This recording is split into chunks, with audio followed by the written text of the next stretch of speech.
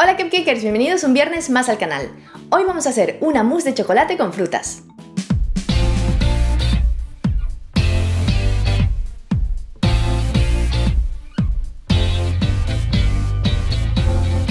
Ya queda muy poquito para que termine el mes de agosto. Y por aquí muchos dejan las vacaciones atrás y empieza el largo periodo hasta las próximas vacaciones de verano. Bien, pues aquí os voy a dar un buen remedio para alegrarnos la existencia, el chocolate. No sé qué tiene el chocolate, pero lo cura casi todo. Y si es así fresquito, con una textura rica y acompañado de frutas, es una delicia que te hace olvidar que necesitas más vacaciones. Y si sois de los afortunados que todavía están o van a estar de vacaciones, también podéis hacer esta tarta. Total, más envidia no nos vais a dar. Así que si quieres saber cómo se hace esta deliciosa mousse de chocolate, pues quédate a ver el vídeo porque la receta empieza ya.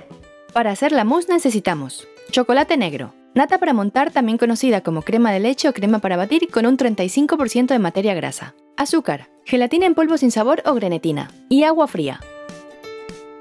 Empezamos añadiendo el agua a la gelatina en polvo sin sabor. Removemos bien y la dejamos reposar durante 10 minutos para hidratarla. Ahora ya tenemos la gelatina hidratada, así que la llevamos al microondas para calentarla unos segundos para que se vuelva líquida.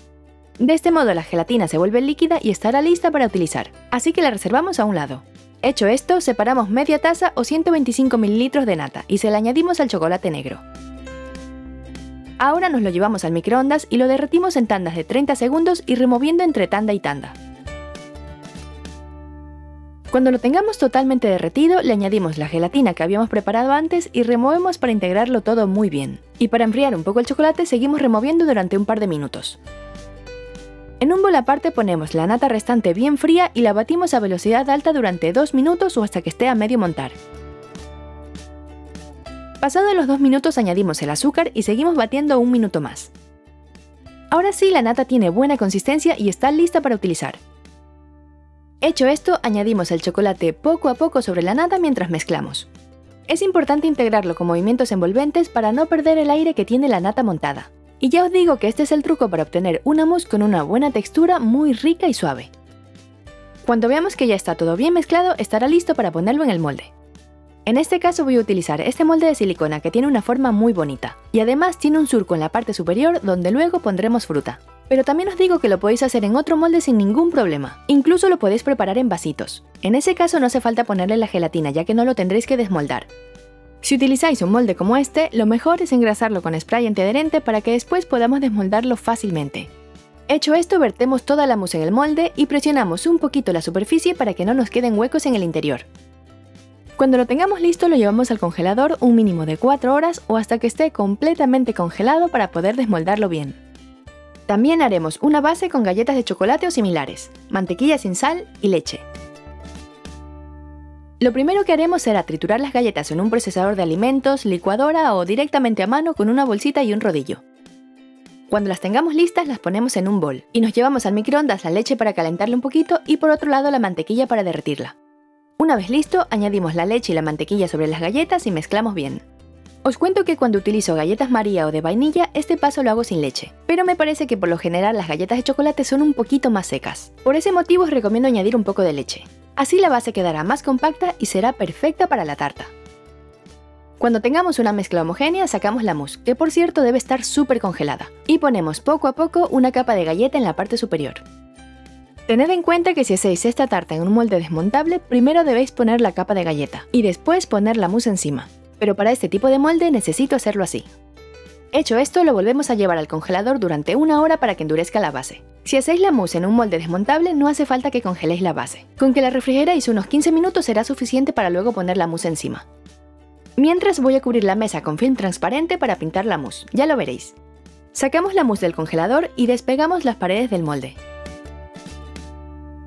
Ahora ponemos una base alta para poder pintar mejor los bordes inferiores. Y desmoldamos la mousse directamente sobre la base que hemos puesto. Como veis, al estar bien congelada se puede agarrar sin problemas. Ahora utilizaré este spray que deja un acabado terciopelo precioso y es totalmente comestible. Aunque es cierto que esto es opcional, ya que sin el spray está igual de rica y también se ve muy bonita. Pero así os muestro cómo hacer estos acabados de pastelería que muchos de vosotros me habéis preguntado. Cuando terminemos, trasladamos la mousse al stand o plato definitivo. Y ahora sí nos la llevamos a la nevera o refrigerador para que se descongele poco a poco. Si queréis incluso podéis hacer esta mousse el día anterior. Justo antes de servirla le podemos poner fruta en la parte superior. Como veis, el molde tiene como un surco perfecto para poner la decoración. Y para mi gusto, con fresas, frambuesas y moras queda súper apetecible. Ya sabéis que me encanta este tipo de frutas. También le podemos dar unos puntitos de luz con virutas de chocolate blanco. Y finalizar con unas hojitas de menta que le darán un toque de color y lucirá mucho más fresca. Así ya tenemos nuestra deliciosa mousse de chocolate terminada y lista para llevar a la mesa. Como veis se disimula un poquito la base de galletas gracias al spray. Y ya veis el acabado terciopelado tan bonito que le da. A mí me encanta cómo queda. Y como no, voy a cortar un trocito para que veáis la textura tan suave y cremosa que tiene esta mousse. Es perfecta para tomar de postre ya que es toda una delicia. Ahora vamos a ver a los cupcakers que entran en el Salón de la Fama de hoy. Si queréis entrar, ya sabéis, etiquetadme en vuestras fotos de Twitter, Instagram o Facebook mostrándome vuestras creaciones. Pau ha hecho roles de canela. Que por cierto, yo me sé uno que le encantan y siempre me anda pidiendo que los haga en casa. Tidy nos muestra la tarta selva negra que se ve irresistible. Y Alexis nos envía una foto de su impresionante drip cake de galletas Oreo, una tarta que sé que os gusta tanto como a mí. María ha hecho la tarta fría de tres chocolates, me encanta la decoración que le ha puesto. Y por último Ari, que ha hecho la tarta Minion y le ha quedado increíble. Además, Ari, que sepas que recuerdo muy bien que cuando nació nuestro pequeño nos enviaste desde Jalisco un álbum precioso para poner fotos de Tian que hiciste con técnicas de scrapbox. Sin duda eres todo un artista. Muchísimas gracias a todos por hacer mis recetas y que sepáis que ya estáis en mi salón de la fama. No olvidéis suscribiros al canal y darle un super like a este video. Nos vemos el viernes con una nueva receta. ¡Hasta pronto, cupcakers!